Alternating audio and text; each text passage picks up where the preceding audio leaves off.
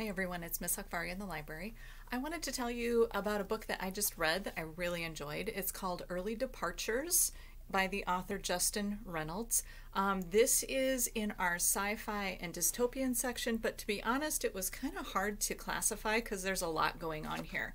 Um, in this book, the main character's name is Jamal, and Jamal is uh, surprisingly in a weird situation he didn't expect to be in. So um, Jamal and his best friend, well, ex best friend, Quincy, um, got into a fight a couple years ago because of some losses that happened to both of them. Jamal lost his parents. He felt like Quincy was responsible, and they talk about that in the book. Um, not too long after that, Quincy lost his dad to cancer and felt like Jamal wasn't there for him, and so there's a lot going on between these two guys. And what suddenly happens, and it's not a spoiler because it's kind of the point of the book, but uh, Quincy is killed, and Jamal is trying to figure out um, how to deal with that. Where this book starts to get into the realm of sort of fantasy or dystopia is that um, in this world that our characters live in, uh, people can be brought back for a short time. They can be reanimated or uh, kind of brought back from the dead. And so that happens to Quincy.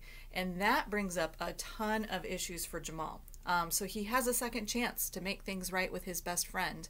Um, he has uh, some thinking to do about what's required of him. So, can he keep that secret from the people around him that love him? Can he keep that secret from Quincy? Um, is this something that should be done? Should people be brought back to life, even for a short time? And it is really a unique book, which is one of the things I loved about it. And I loved kind of how it talked about some really important issues like the way we live our lives and the way we deal with uh, caring about people when we know that we're all mortal and people pass away. Um, and it was really powerful. So if you like reading stories that are maybe a little bit fantasy or dystopian, um, but also in the same time deal with a lot of real life issues, if you like stories about relationships and friendships um, and family relationships, the book Early Departures is a great book to read.